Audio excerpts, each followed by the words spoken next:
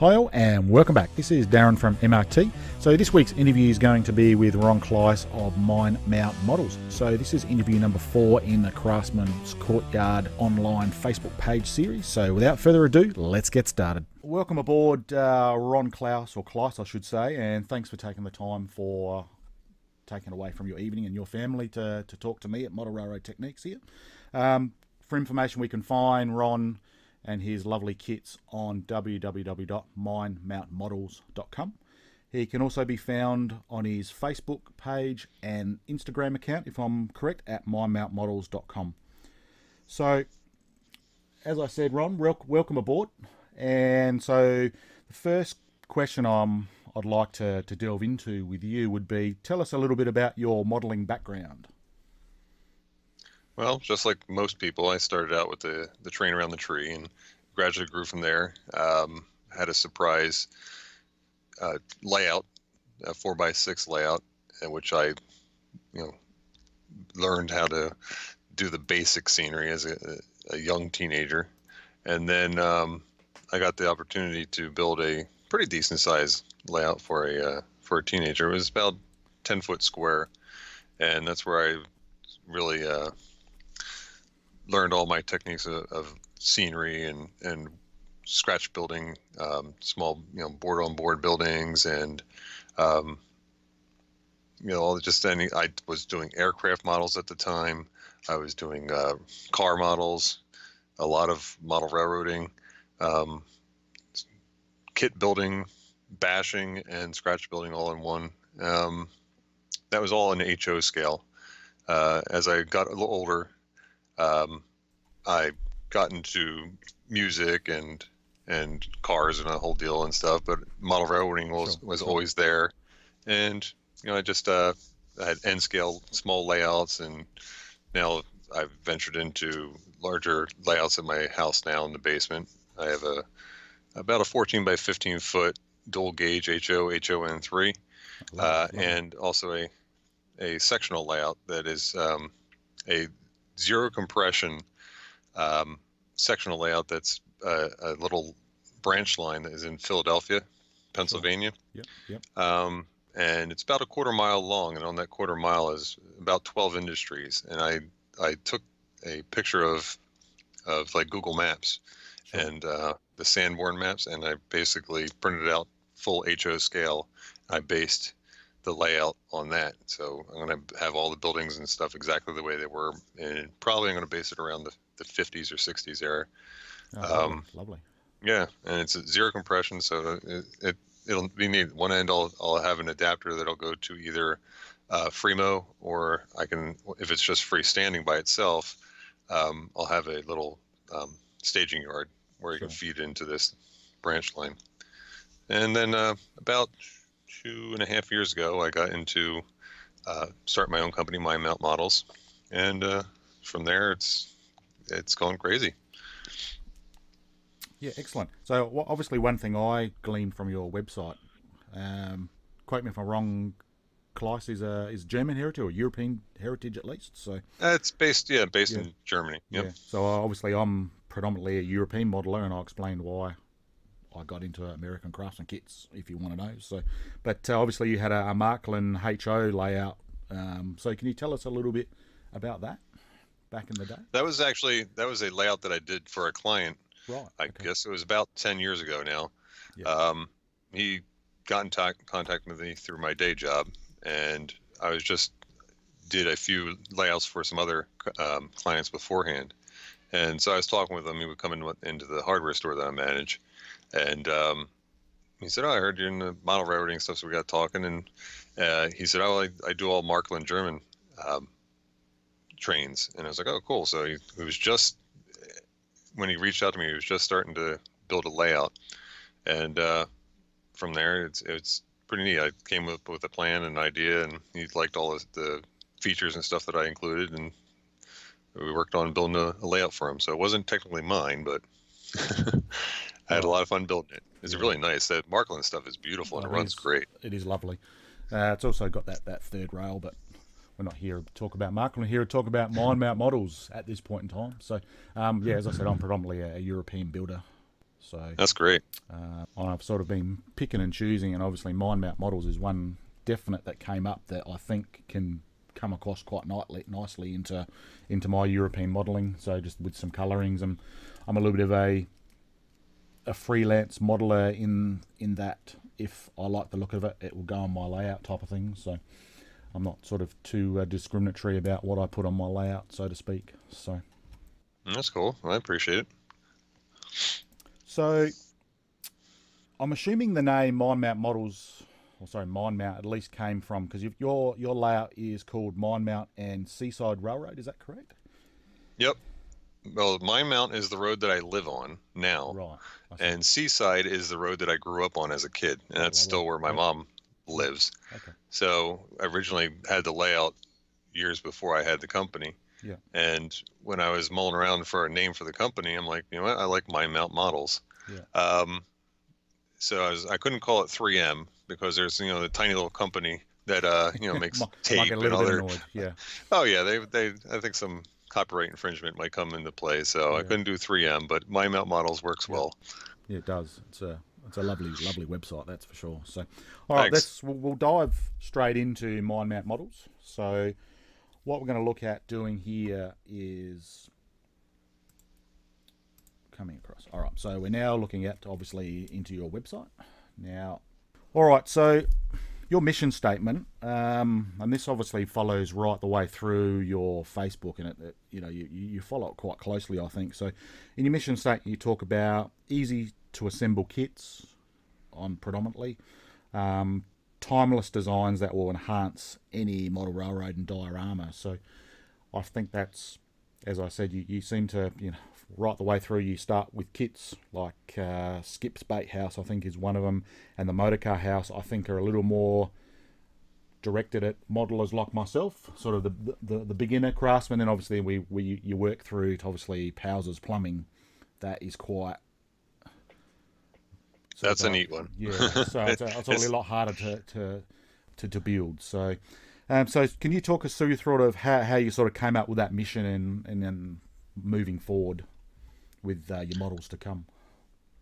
Yeah. Um, well, when I first started the company, I wanted to start with something small so that I could actually get used to it.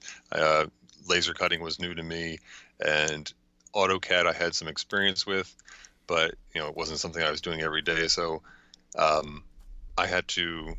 I figured why jump into some gigantic structure and I might not even enjoy what I'm doing here. So I started small with, with skips, and it works out well because it's a nice kit that even the beginner, somebody that's never done a, a Craftsman structure kit, uh, can do in probably just a few evenings. Uh, it's a simple four wall structure that you can actually add a, a dormer onto and rearrange a little bit if you wanted to. Um, and that's how I cut my teeth in the Craftsman Structure Kit company, was with with skips, and then um, that actually worked well for a uh, about a month ago, there was a uh, an NMRA uh, meet, like a divisional meet, and they asked me to introduce their members to Craftsman Structure Kits because a lot of people, for some reason, they're intimidated when you say Craftsman Structure Kits. They think it's a box of sticks um, that you have to glue every board together. And nowadays, with the laser cut and the, and the you know pre-made clapboard siding and all that stuff, it actually is. Very similar to putting together a plastic kit. Yeah. Um, and just you know a little bit different glue instead of using a, a, a CA glue or a you know, plastic glue, you just use wood glue for most of it. Mm. Um, that's the main difference. Same similar paints and sim, similar building techniques, similar tools, uh, and that's how I ended up going with skips. That was basically me starting out and learning the process, and now a lot of people use that kit as a, yeah. a, a jumping point to learn how to build the kits. Then I moved on to um, a little bit bigger kit, not much, but uh, the motor car shed, and that went fairly well. And it's a it's a neat little kit that you can pretty much fit into any any yard area on the railroad. Um, and then uh, I was like, all right, I'm going to go big. So I ended up doing the Powers' plumbing. That took a considerable amount of time um, to design, a lot more than just a four-sided wall. Uh, the roof angles were exceptionally uh, challenging, Yes, I but uh. I managed. they were they were a fun challenge to to figure out. But I think that really is the character of the building. Sure, sure. Um, then I cut back the scale a little bit, uh, and I did the Randy's, and that's a little bit more challenging of a, a structure. Um, it's a medium-sized building, but that's my most popular kit to date right now. Oh, okay. Um, excellent, 'cause yeah, it's a good price point, and it's a it's a neat you know building that can be used for a lot of different things. But um, and then my newest kit uh, that's out now is the Sunrise. Yep. Um, that's a warehouse building which can be used for a lot of different things, uh, and that has quite a bit of character. I base mo- most of my structures on. Um, some of it is straight from my head, imagination. Uh, some of it is buildings that are in my hometown or in the general region.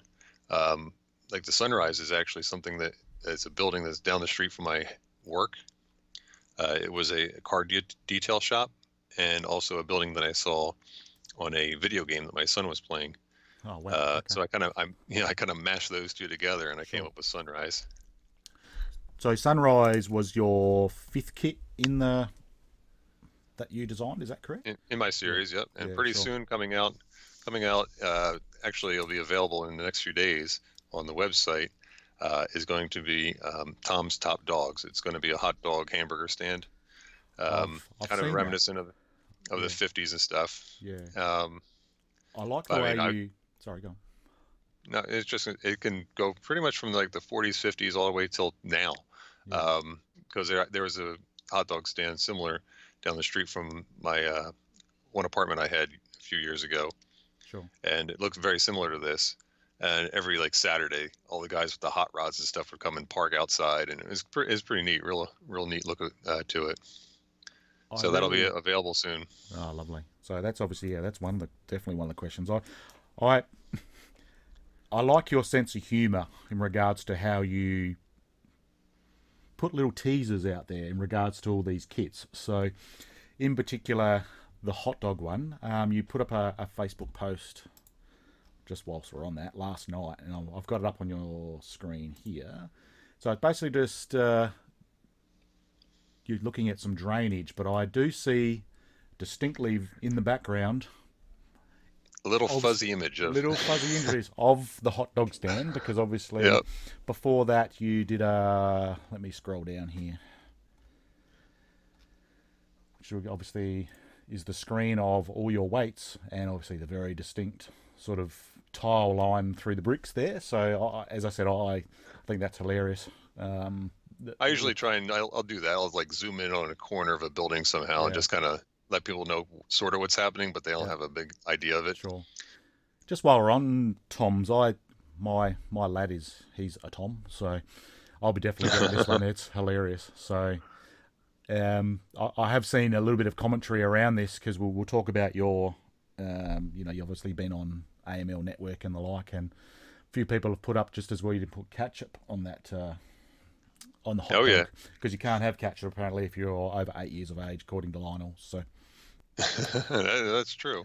so Um, But you did Yep, say something well- about that there is a reverse side to it, so I think tongue in cheek that was uh, quite amusing. So yeah, I mean, you you could take that little uh, squiggly line or that piece and paint it red if you want You to. If you want to pretend Yeah. you're eight years old, that's fine. that's right, and maybe put it up on the uh, their Facebook page and see what uh, response you get. That would be my uh, my sense of humour. So As, I- as soon as they buy, as soon as they buy the kit, they can paint it any way they want. that's right, that's right.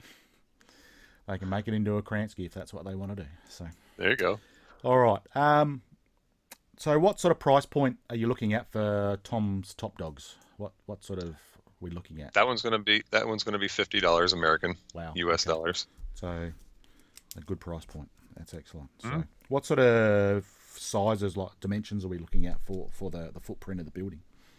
Um, the diorama itself is eight inch by ten inch. Building is about four inches by six inches. Four by six. Okay, so it's Yep. not a small. it's very building then. similar. Yeah, Yeah. it's very similar to uh, Randy's. The same Yeah, same okay. size. So it's not a small building, that's for sure. That's and at, at the fifty dollar price point, I think that's very reasonable. As I said, I'm waiting for the Australian dollar to get a bit stronger and not dive as it is right now to start buying Everything. more. My American Everything's kit. diving right now. It is, isn't it? So it's terrible. But anyway, we won't we won't delve into that. Let's Nope. let's talk about the good stuff in our hobby right now. I think so. All right, so we'll go back to sun sunrise a little bit. So we are dancing around. So there's obviously a few things. Obviously, the fifth kit that we talked about. Now, obviously, the, the thing that stands out with me with this kit is the roof. Um, it's a, a like a shake shingle, which is for us Australians, we, we don't have shingled roofs. It's either tiled tight roof or what we call colour bond or corrugated iron, I suppose. Um, and also like a Yeah. raised a raised seam metal roof. So I suppose I'm I'm very much into kits and Sunrise ticks a lot of boxes here. I think is just the different medium you're using. So you've got the clapboard that sits the the upper structure. You got the the brick structure underneath, and then the the batten and board for the the loading dock building on the side. So, um, and I think that yeah, that looks yeah that's lovely. Just the way all those different mediums, all those different textures. I think that's just that's hit the nail right in the head. I think that kit that's that's that's fantastic. Thank you. Yeah, I, I was when I did this one, I kind of wanted to put a, a bunch of different textures on there, siding wise. Um, I haven't done much of with the board and batten, so I was like, you know what, that, that would work well for the side building. Um, I tried a new technique with the uh, engraving of the brick. The the bottom, the first floor is brick with a stone foundation, Right. okay. uh, and that's all solid pieces. Actually, that's all engraved on one piece. Um, the four main walls. Sure. So the brick and the stone are actually done on like a masonite type of material, and Ah, that gets a real that gets a real clean look to it. Actually, yeah, it can it takes the engraving really well. I think I've seen some footage of that on your Facebook of that being produced on your laser. I think I think I reckon I, I did see something on that. So, and that'll keep the Wiley boys happy because you've got foundations because they're all about the foundation, as you know. So, Oh yes, I, only spoke to Brett the other day. He's his interviews coming in the two weeks time, I think. So, oh excellent. so They're doing a great job, man. Those two guys are doing yeah, I, fantastic for No, our are. little uh, branch of the hobby. Yeah, I agree. I agree. So it's fantastic. I've sort of, as I said, I've sort of fallen in love with this this niche of the hobby because I, I, I think it's quite unique. Um, you, you touch on an interesting point just before about people that seem to be scared of these these craftsman kits. Um, you, please tell me. As I said, I'm new to this, but I'm not quite sure why. Um, some of them, yeah, you do open the box up and there's a there's a lot of bang for your buck in there. Um, mind you, I haven't the biggest kit I've built so far is a, a Jeff Grove kit um, from Pine Valley, so it's not a complicated kit, I don't think, but um, fun nonetheless. So yeah, I, I can't quite understand why. Obviously, some of the bigger, I love to get into the Powers kit. Um, I'm sure you open that box up and it'll be a little more not overwhelming, but more exciting. I think to say, oh, okay, we'll uh, I'd love to delve into that. So yeah, I can't quite understand why. Yeah, I think has- it's just has the a bit of a bad intimidation factor. Yeah, Yeah, the intimidation factor is, I think, from the original ones were all literally just pieces of wood and, and sticks and sure. and wasn't much um, like a plastic kit at all. Everything was back in the day in the 70s and when when uh, George Sellios and Campbell's and stuff like that, they were doing the kits originally. They were all individual pieces of wood and you had to build the whole thing yourself. Yeah. Now with the lasers um, available and the materials that you can cut it on, uh, cut with it are kind of make it like a, a plastic kit and it's a lot more familiar um, once people look at it and go, well, this is just like plastic kit. Sure. Uh, it'll go together the same. Um, and you, I think it, when I paint wood-based structures, it takes the paints much better than when I'm working with plastic. Sure. It's to get the same type of, of look to it in a plastic kit. Um, I can achieve it, but uh, it takes a little bit more work actually.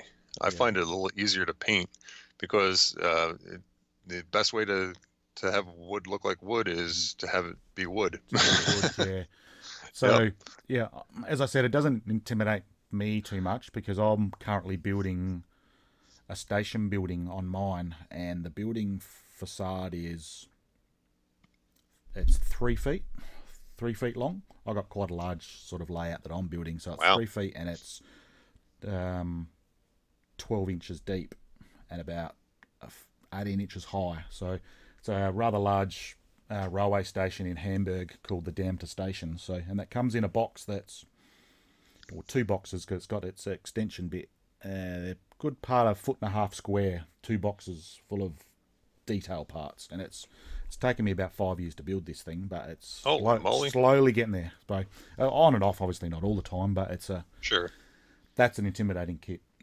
That's, that's an intimidating kit, but yeah, so excellent. So I mean, I was literally about um, the first structure kit I ever, uh, craftsman kit I did was from American Model Builders.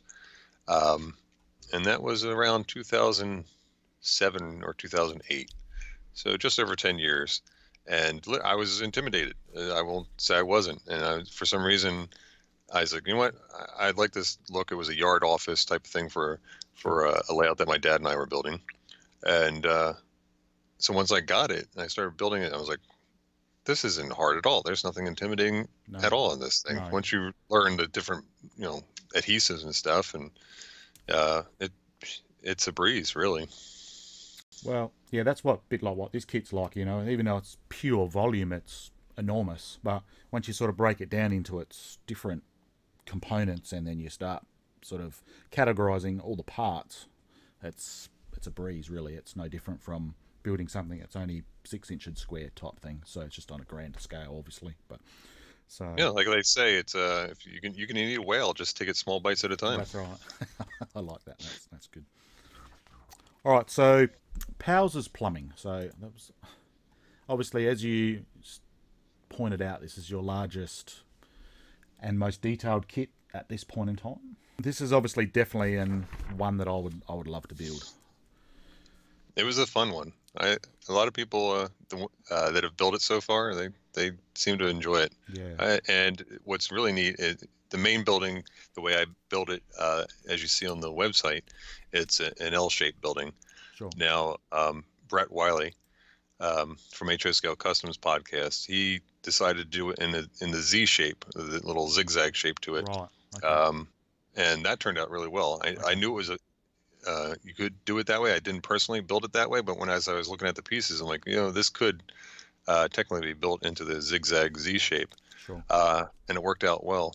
Um, another guy's building it. Uh, I'm not sure how far he's gotten so far. I think it's kind of he's he did all the main structure and stuff. Sure. Um, he did it similar into that Z shape, but the the center building, uh, I guess it, was with the peaked roof, um, he actually cut the bottom first level out and actually made it almost like a drive-through, where they would get Oh, into the and he kind of uh, the cars and, or trucks would get loaded underneath of that, like overhang Oh, from the yeah. So um, that was really neat the way he actually ended up uh, coming up with that idea. I thought that was really neat looking. Yeah. Um, so I mean, there's a lot of po- possibilities, especially with kit bashing this thing.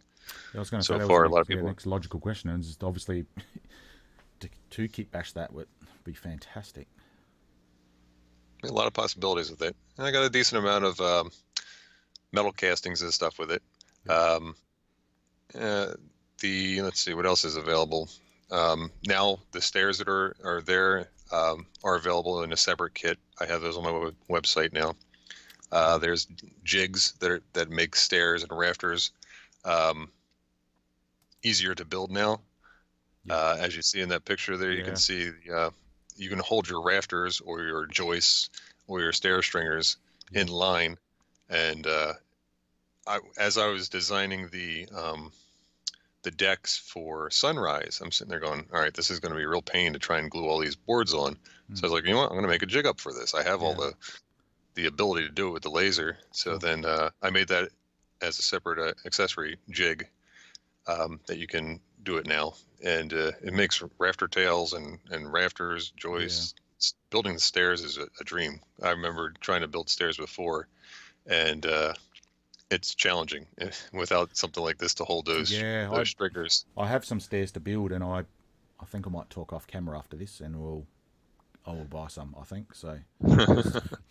I don't even want to try because I, I've done a, a three step staircase, or not even a staircase, three step stairs, and that was that was hard enough. Let alone doing something that's uh, half a dozen or a dozen stairs, even up to up to a second floor, so or even more. So Yeah, this the sunrise has uh, quite a few different stairs, sure. uh, and even has like a split level stair. Yeah. So uh, that it makes it much easier to build. Yeah, yeah, definitely.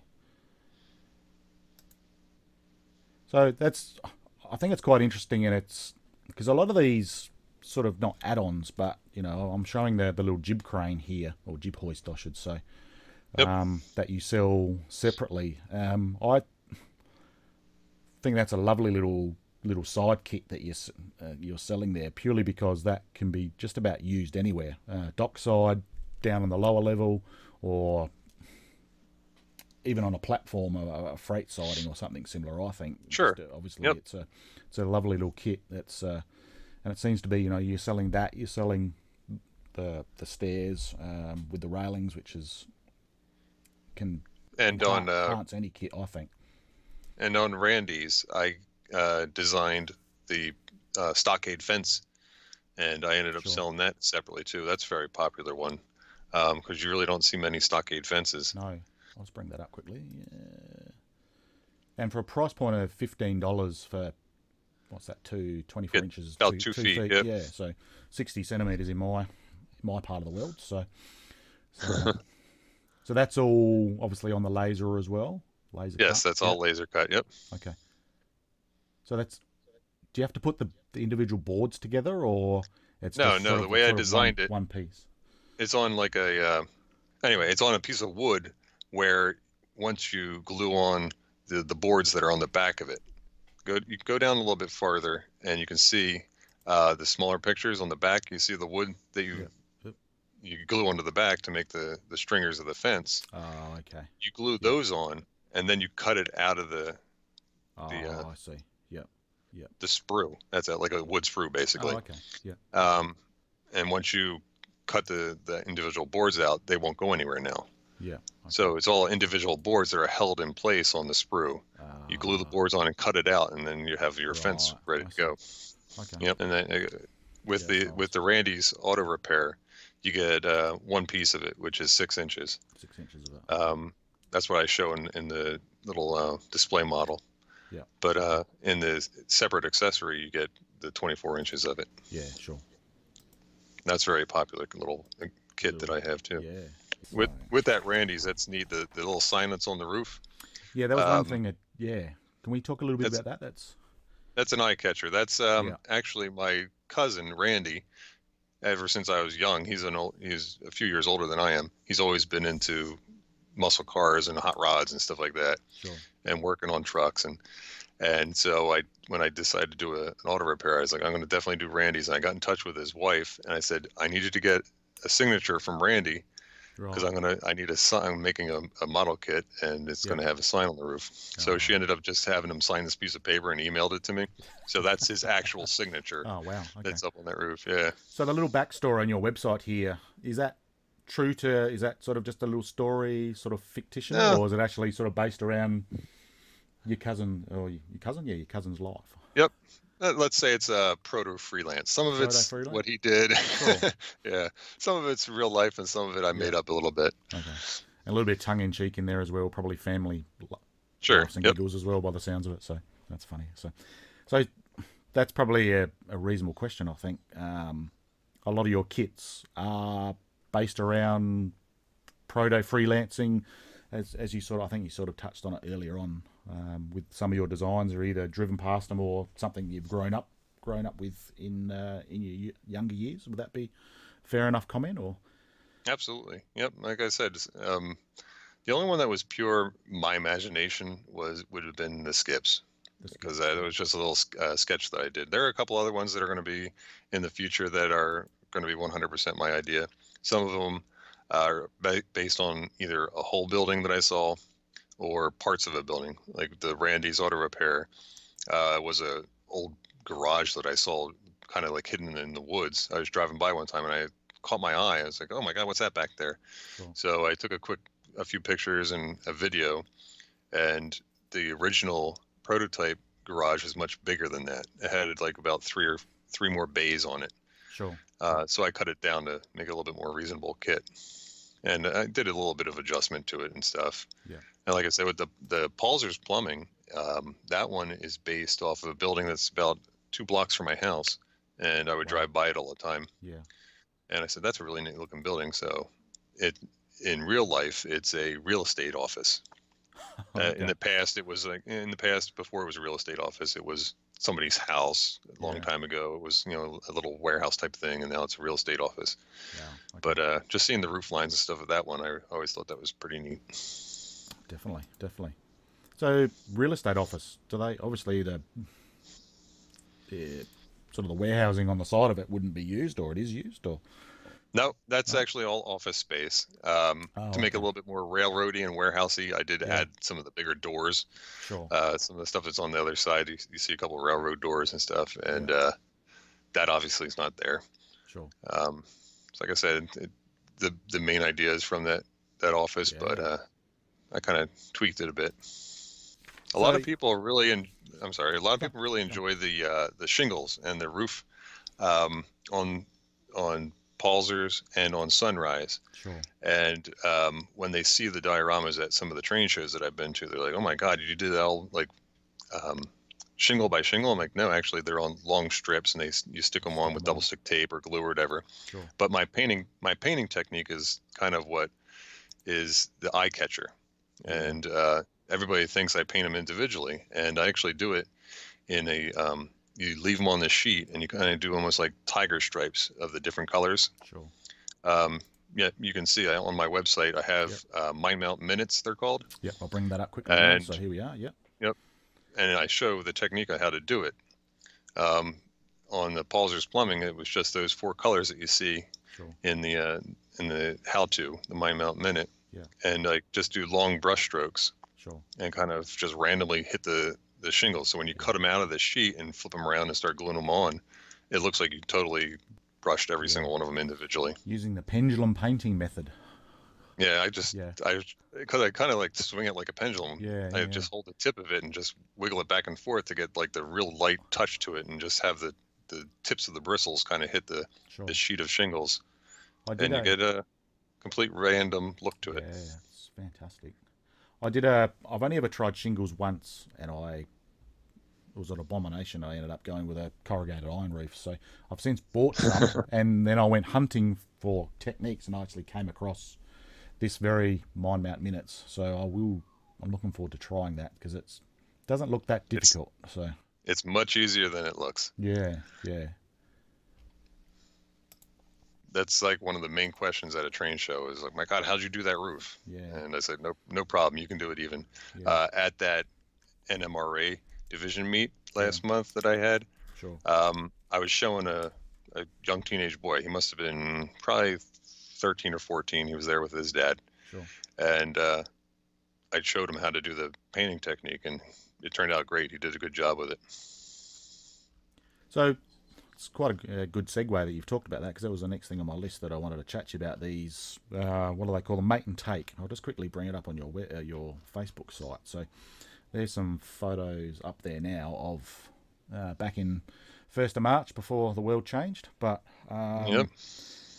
is that in Australia? These types of things are very unique. So um, is it these what you'd call clinics? Um, we don't do sit down clinics like this. We might have conventions where someone will read a PowerPoint and they'll explain what they've done, but I think this goes to the next level, and I think it's something that can be probably implemented anywhere in the world. I think um, is it quite unique in your space as well, or uh, your part of the world, I should say, or is it something that is Now, some of the divisions in the NMRA have done this before. Um, this is the first time in our division that that they've done it. Uh, they wanted to have a, a make and take. Most of the time, the ones that I, the meets that I've been to, they'll, like you said, I, I do a PowerPoint, and then they talk about it, and you kind of look at what they did. Um, the feedback on this seemed to be really positive. Everybody was excited to actually do it. I had about 27 people doing it. So it was a it was a full house, I guess you'd say. yeah, it's a Um, lot of people. And yeah, they they from what I heard from um, some of the division leaders and stuff, they were saying everybody really seemed to enjoy it, and then they were glad that they Yeah. did it because instead of just sitting there watching and somebody talk about it, they were Sure. actually doing it themselves. I had a yeah. short, real brief, basic PowerPoint to show the basic steps, is. There. and then and then um then they went and did it and i would Sure. walk around and answer any questions they had and and show them different techniques that i i come up with because again most of the the 27 people probably 23 of them never built a craftsman structure kit before and that's it was just yeah it was skips skips, actually yep yeah. everybody bought a Yeah. skips and we worked on those Oh wow. That's and uh, yep. So they they didn't have time to do the whole thing. I, I knew that from the beginning, so I told them we're going to work on one or two walls, learn the basic bracing techniques, gluing techniques, what materials you're going to use, sure. get a feel for what the materials and the wood that you're working with, because most of them did plastic kits, sure. And then um, and then I- I was showing some of the painting techniques and stuff like that, and then they would take it home and finish it themselves. Yeah. Okay. So how, And I how- told them if you have any questions, definitely email me, reach out to me. Yeah. How long did the um the clinic go for? Time. Uh, the whole the whole time it was probably three hours. So they had, so my clinic itself was about two hours of that, okay. maybe just over two hours, because they had, you know, their their quarterly chat from everybody, Sure. the the chairmans and stuff like that, of updates and what's happening, and then at the end they had a brief um, like a word presentation uh, for people that earned certificates and stuff like that. Sure. So out of the three hours, just over three hours, they had. Uh, I was about two hours of it, wow. Okay. Fantastic. and it went well. I had my Yeah. full display table set up, so you know. I sold some kits there and accessories, and Yeah. You know everybody had a. It seemed like they had a great time. Then we had a really good lunch afterwards. Yeah. Are you looking at um, doing another one in the future, or They already reached out to me, and they wanted to want to do another one, probably maybe in a year's time or something like that. yeah? Come up with some some other thing we could do. They don't want to saturate it, but No. it it put the seed out there for maybe somebody else to do something similar to this. You know, maybe maybe it might be a decoder install, or it might be how to Yeah. weather maybe a, a freight car or a Sure. train. Instead of just having that person talk about it, have a basic, you know, box car or something like that, and then Yeah. show the techniques and have them try the techniques of weathering a box car or something like that. Sure, sure. That's that's. As I said, that's as I said. We have conventions over here, and we it's basically like a being back at school. So I haven't been to one for a little while, but it's got if you. could- I, I, I'm very much for someone showing you how to do it, and then if you can physically do it that yourself, and it's very tactile, then and you can sort of play around, and it's a it's a good way to a segue into this part of of the hobby. Um, And it, it sticks in your brain more when Yeah, you're that's right. actually doing it yourself. Yeah, that's right. Yeah. So I've tried learning this via YouTube. That's how I've learned how to build my first. So built my first craftsman kit, but we'll get there. We'll get there. It's all, it's all a learning experience, and it's a lot of fun. I do So, have to do I do have to do uh, some YouTube videos. sure. Um, I do want to make a video of the Mine Mount Minute that you're showing right now, the the weathering the Sure. um, Yep. shingles. Yep. I want to do a video of that actually, Yeah, that's and then idea. link it to Yeah. my website and just kind of hand it out there and to let Yeah. people see how to do it and see how simple it is. Right. Um, another one that seems to be, uh, they ask me how I do like my um, asphalt or concrete, like the roads and roads and parking lots and stuff. And again, it's some technique that I kind of just came up and came up with, and it's quick and easy. So I'll probably do a, YouTube video of that, um, even a uh, maybe a, like a Facebook Live type thing, and just have people watch me doing it Sure. and try and answer questions at the same time. I think you put something up about that just the other day, didn't you? Maybe even yesterday. I'm sure I saw something about that. There we go.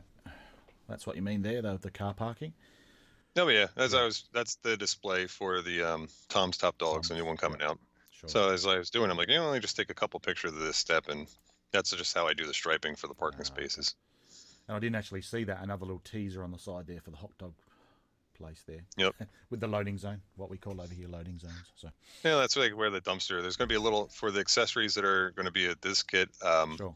It's going to be I, it has picnic tables for the front, and in the back, I designed a dumpster that you can Yeah, kind of cool. Fold up and glue together and stuff, all laser cut. Yeah, sure. Um, and I'll make those separate available too on the website. So I first heard about you on Model Rail Radio. Um, I came across Tom Barbalet's show probably nearly a year ago now because some of my modelling friends here in Australia or South Australia, where I'm from, um, Jim Gifford, he says he sends his uh, says hello. Apparently, he came in. Him and Rosalind came and stayed with you or visited you. Yep, his friend. Yep, Yeah. Rosalind, his friend came. They Yeah. they stopped by. It was great. We um drove around and saw a bunch of layouts together. Yeah. Uh, and then the following day, they came by and saw my layout, and I talked to them. You know, showed them around my yard and everything, and Yeah, that it was it was really cool. Went out and Yeah. grabbed a bite to eat, and they we they were doing like a whirlwind tour all over. They started in California, worked their way across the United States, up into Sure. Canada, then um, then Jim continued over into Europe and met his wife up there, and then they kind of did some things all over in Europe, and finally made it back to Australia after months, I think it was. yeah, Uh, sure. boy, some of the layouts I couldn't imagine some of the layouts that those two guys uh, saw. Yeah, um, Impressive. it's quite interesting. Jim probably lives thirty or forty minutes from my house. I've Jim's a great guy. I've like never- him. Yeah, I've I've communicated with him since getting involved with Model Rail Radio more than anything. Um, but I've met met Ros before. I did a another friend of them called a friend of theirs called Don. Um, our local exhibition, which is in our in sort of mid year in June, I helped out and Ros was there, and that's the first time I'd met them as well, and it was yeah, good good fun day. So A lot of good modelers in Australia. yeah, there's fantastic modelers. Um, we're quite lucky here as well, definitely. So, so you're obviously involved with there's a, a design contest. I think. Oh, I reckon it's even tonight. It finishes thirty first, It it ends the 31st. March So- 31st is. and obviously your two of your kits obviously have to uh, be prominent on on this layout. So how how did you sort of get involved with Tom? I suppose you just a, a ring in like me, where you literally do ring in and chat. I? I I got an iPhone. I guess in 2012. I think it's the first time I started figuring out even what a podcast was. So I was like, "Oh, podcast! I wonder if they Yeah. have model railroading type of stuff." So the first one I found was Model Rail Radio because there wasn't many at the time. No. Um, and started listening to Tom. Like, well, this guy just takes live calls. So one night I was sitting there folding laundry in my room and uh, Yeah. was listening to it in the background. I called in and just listening. And out of the blue, all of a sudden I hear Tom Barbalet say, uh, Ron Klaiss, you there, Ron Klaiss? And I'm like, oh my gosh, I guess I'm going on live. So ever since then, uh, it's it's broadened my horizon into how just how big model railroading is Sure. and modeling and stuff. Um, He does a great interview. He he asks the right questions, kind of encourages the people to talk, and Yeah. and and does a great job with the whole podcast thing. Yeah, he does. Um, and I I can't wait till every time a, a new one comes out. Yeah. Um, and last year, when we he did another uh, layout contest, it was a another shelf type layout, smaller one, sure. uh, and he decided he wanted to make some prizes. So he involved Mine Mount Models because I was just starting out. Sure. Um, and he's you know he made some of the the kits at the time that were available the prizes. So when 2020 contest came around, he, Sure. we decided to do some more kit prizes. Yeah. And now with this year, um, Larry Eggering of Creaky Chair Models, Yeah. he got involved and his, he donated a, a sound module. Yeah. And uh, Ralph Renzetti is donating a weathering job for a, an engine. An engine. Yep. sorry And Ralph is uh, Ralph is a true artist. He does amazing work. So you provide, oh yeah, you provide the the engine, and he, he's going to do as the for the winner. You get a, a Ralph Renzetti masterpiece. original. Yeah. Yeah, it's, so there's some serious serious prizes this year. Yeah, definitely. So I'm looking forward to what what people come up with. Definitely. So Yep. I'm excited to see them. so yeah, I, I, as I said, I I've only called in twice, and I I do look forward to obviously when it when I can. Obviously, he's in San Francisco, but he is a an expat of Australia. Particularly, he I think he did grow up in here in Adelaide or Adelaide and um, Melbourne, which is the, one of our states, eight hours east of, of my location. So definitely uh, a good good listen. That's for sure. That's for sure. Yep. Highly recommend it to anybody. Yeah. So I did put some. I posed it out. Then I did it a little bit late, unfortunately. Um, we've already spoken about Jim Gifford. He's obviously him. Him and Ros to to say hi. um, which we've spoken about now. Scott Perry, I don't know if you know of Scott from HO Scale Customs. He's a patron over on that that um, Okay. Yep. Facebook page. I recognize his name. Yeah, so he, he's quite a modeler as well, but he's more into the larger scale. So he, that's his question. Um, is there any outlook for O scale models for mine mount models? Uh, yes, in the future. Um, when I was at Springfield, the big train show in Massachusetts, uh, this past January, I was talking with some O scale guys. Uh, Terry Terrence reached out to me. He's a big O scale king guy, and he's going to try and get some ideas from some of his friends and reach out and kind of go get a, a survey of what type of models they would like. Um, again, a lot of O scalers, uh, they're kind of intimidated by the kit, even scenery by themselves, from my understanding. Um, and so he wants to kind of like broaden the the O scale uh, market for them. Sure. So I'm trying to get some ideas from him. It can't be too big a kit. Like I can't make a Powers' in O scale No, because it would no, just be huge. Be enormous. Yeah. But uh, I could I could see definitely skips, um, the rail, the motor car shed, uh, even um, even the kit that I'm doing now, uh, the hot dog stand and Randy's. They probably all make really good O scale kits. So I'm looking into that. I have a lot of people bugging me about N scale. Um, it's so teeny tiny. Yeah. Uh, cutting bricks in, in engraving bricks in N scale and stuff. It's it's tough. I've Yeah. tried it, and it's tough because the, they're so close together, the Yeah. lines that um, it kind of almost gets blurred. Um, I would have to like kind of take some artistic freedom and make them make bricks a little bit bigger than scale bricks, just Yeah, so sure. they they look it. You know, Yeah. like even in the uh, in the hot dog stand, Tom's Top Dogs. Yeah. Um, that is not brick; it's actually cinder block that I, the building's made out of. So Okay. I actually sized it to true cinder block in HO scale. Excellent. Yeah. Okay. Yeah. Yeah. All right. So that's the end of the the train stuff. Now, I came up with this little concept, and I sort of touched on it when I sent you my email when you asked what sort of stuff we're going to talk about. So it's somewhere between. It's a little bit of tongue in cheek. So if you want to, if you don't, we'll go through it, and if you want to edit it out, that's fine. I can I can do that. So, but I'm calling it the Wiley's World of Wisdom. So it's just some random questions. So you ready to do this? Let's go for it. All right. Okay. I'm trying to also trying to remember. Obviously, the way we might say things in Australia and what things mean are very different. So I do apologise now. So, what is your favourite pie condiment? Uh, pie. Um, just the con, not the pie itself, but the condiment on top. Yeah, have what, to- what do you like? you to top I'm gonna have to go with whipped cream. Whipped cream. Okay, that's Straightforward. Whipped cream. Well, Brett was uh, very much a tra- traditionalist. He doesn't like anything on the top of his pies. But anyway, so That's Um, more whipped cream for me. yeah, well, that's exactly right. And he liked pumpkin, I think, from memory. So. Um, I see. I like apple. Apple? And my like- favorite, my favorite is carrot cake, but that's not a pie. Well, yeah, well, So it our, doesn't our count. local our local bakery makes a very good carrot cake, so I'm, I'm with you on that. So, um, steak or seafood? Oh boy, that's a tough one.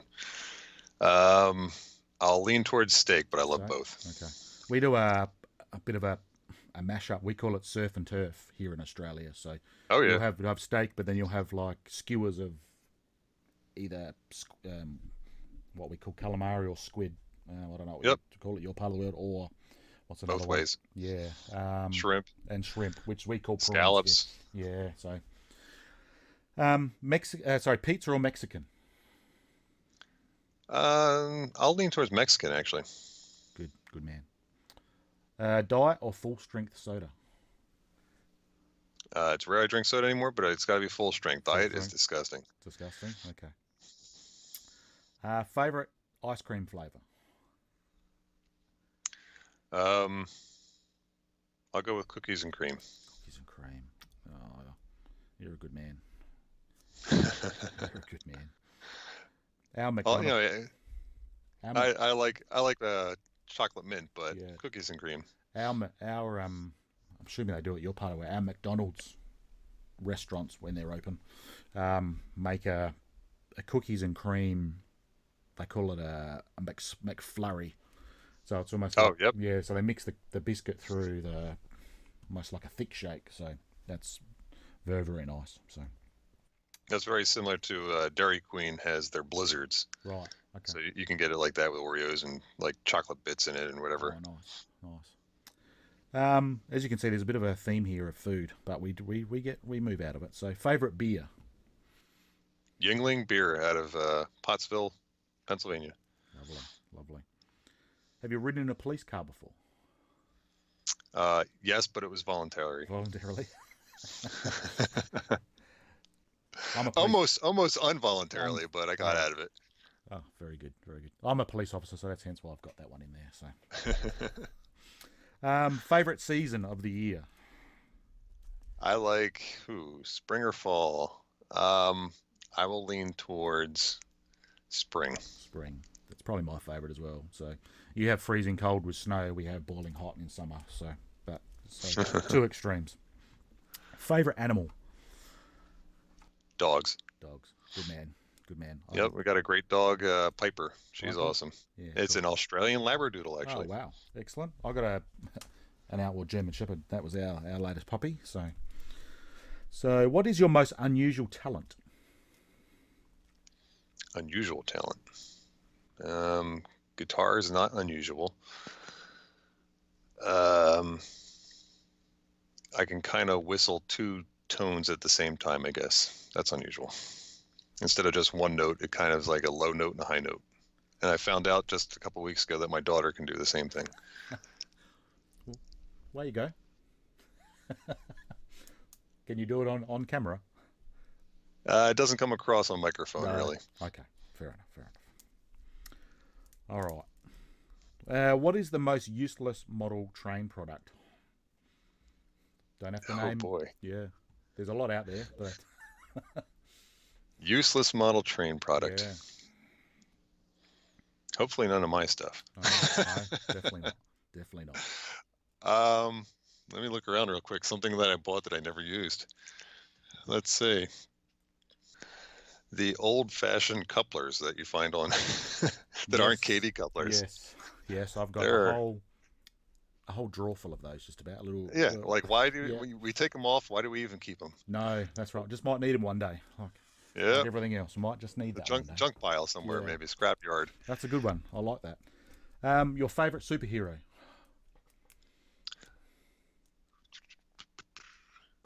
I liked Doctor Strange out of Oh, the, the Marvel comics and stuff. I like Yeah. Doctor Doctor Strange. He was pretty cool. Yeah. I mean, he could.